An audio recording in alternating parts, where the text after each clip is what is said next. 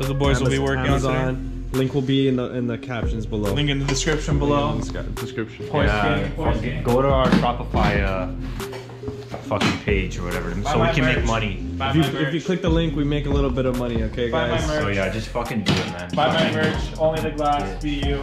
Buy my merch. So what are we doing here today?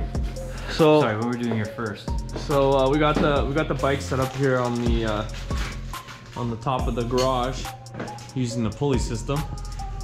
Uh, Pretty neat. pretty neat. Pretty neat system. So we're gonna install a third one here for brother Dominic to, to put his bike up in the air for storage. Would this be a bad time to say? Oh, there we go. What do you need? Quarter eight of an inch? Go ahead and drill the uh, components to uh, the tire of the bike. this is how you make it tubeless.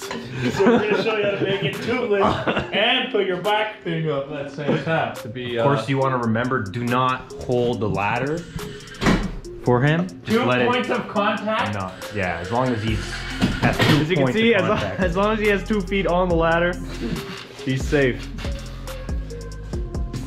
Whatever you do, do not assist him in holding the ladder. Well, if you made it this far, we've uh, screwed both parts of the bike rack, as you can tell. She's pretty, pretty secure. Okay. So we're gonna now run our cables You here. want, you want to bring the camera up there and just show them? Of course. How's it going? So we got our one spinny diddly and our other spinny diddly. This one here's got a lock in. Like a, You can see the bike is now levitating. Y'all go ahead and pull that cord right there, Dominic. Right? Yep.